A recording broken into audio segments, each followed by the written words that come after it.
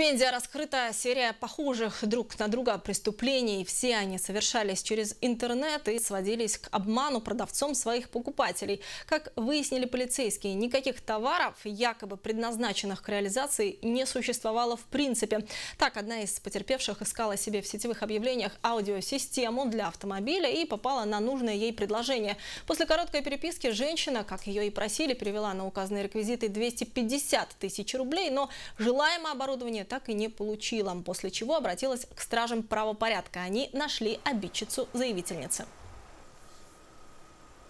Ей оказалась 19-летняя жительница города Пензы. Девушка вину свою признала и в содеянном раскаялась. Как пояснила сама подозреваемая, таким образом она хотела заработать денег. Для этого девушка в соцсетях разместила объявление о продаже музыкального оборудования для автомобилей.